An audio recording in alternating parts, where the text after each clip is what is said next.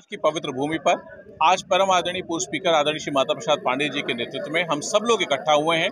पूरे प्रभु समाज को लेकर के, पार्टी को लेकर के, सब लोगों को इकट्ठा करके, लोगों के बीच ये मैसेज देने के लिए कि जो काम किया था, जो इकोनॉमिक ग्रोथ की बात है, चाहे रोज़गार की बात है, चाहे महँगाई को नियंत्रित करने की बात है, दाम बांधने की बात है, बिजली को सस्ता करने की बात है, सुरक्षा और शिक्षा देने की बात है, स्वास्थ्य पे काम करने की बात है इंफ्रास्ट्रक्चर पे काम करने की बात है एम्प्लॉयमेंट जनरेट की बात है, हर चीज़ पे सिर्फ़ समाजवादियों ने काम किया था, भारतीय जनता पार्टी की सरकार पूरी तरीके से व्यवस्थित तरीके से फेल हुई है। सिर्फ़ उन चीज़ों को लेकर लोगों के बीच आए हैं। लोगों का बेहद प्यार लोगों का विश्वास मिला है। लोगों ने विश्वास दिलाया है कि आने वाले वक्त में 2022 की ज़िम्मेदारी समाजवादियों को मिलने जा रही है। मुख्यमंत्री योगी आदित्यनाथ की तस्वीर सोशल मीडिया पर वायरल है। वो विज्ञापन में दर्शाया गया है।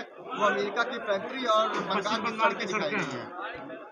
अब ये तो आप खुद ही बता रहे हो कि अमेरिका की फैक्ट्रियाँ हैं और पश्चिम बंगाल की सड़कें हैं। तो इसका मतलब है कि अगर उत्तर प्रदेश में उन्होंने कुछ काम किया होता, उत्तर प्रदेश में कोई सड़क बना दी होती, उत्तर प्रदेश में कोई एक्सप्रेसवे बना दिया होता, जितने फर्जी इन्वेस्टमेंट समिट की उसमें अगर सच में कोई इन्वेस्टमेंट आ गया होता तो आज उसको दिखाते। लेकिन क्योंकि आया नहीं तो उनको, उनके विजुअल आर्टिस्ट ने जो फ़ोटो जहाँ से उठाई होगी, वो लगा दी, उन्होंने उसको जारी कर दिया होगा।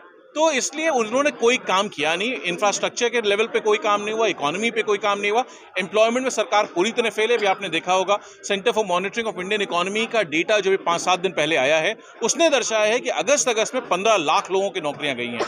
इकोनॉमी आज के लोवेस्ट लेवल पे है। आप, मैं कोविड की बात नहीं कर रहा प्री कोविड भी अगर आप देख लें तो उन्नीस और बीस का जो फाइनेंशियल ईयर था, जिसमें सिर्फ़ पाँच दिन का कोविड का डेटा इंक्लूडेड है, उसमें भी थ्री परसेंट पे उत्तर प्रदेश की इकोनॉमी ग्रो की है, जो कि पिछले दस बीस तीस सालों में ऑफ़ द लोएस्ट लेवल पे। इससे कम इकोनॉमिक ग्रोथ कभी नहीं हुआ। प्रधानमंत्री नरेंद्र मोदी जी जन्मदिन सत्रह सितंबर के दिन बेरोजगार युवा जुमला दिवस मना रहे हैं। क्या कहना अब आप समझ सकते हो अगर उत्तर प्रदेश की जनता पूरा हिंदुस्तान मिल करके बेरोजगारी दिवस मना रहा है तो ये लोगों का दुख दर्द है जो सामने आ रहा है। लोगों की मजबूरी है। लोग आज ये सवाल पूछ रहे हैं साहब वो दो करोड़ नौकरियाँ कहाँ हैं जो हर साल मिलने वाली थी? आज अगर मिली होती तो लगभग आठ साल की उनकी सरकार हो रही सोलह करोड़ नौकरियाँ मिली होती। उत्तर प्रदेश की सरकार सत्तर लाख नौकरियाँ हर साल देने वाली थी। पाँच साल में साढ़े तीन करोड़ नौकरियाँ मिली थी। आज उत्तर प्रदेश का कोई घर ना होता जिसमें किसी को नौकरी बची हुई होती आदमी खोज रहा होता। जी? यूपी में कितनी सीटें उत्तर प्रदेश में बहुमत की सरकार बनाने जा रहे हैं। माननीय राष्ट्रीय अध्यक्ष जी ऑलरेडी सीटों की घोषणा कर चुके हैं।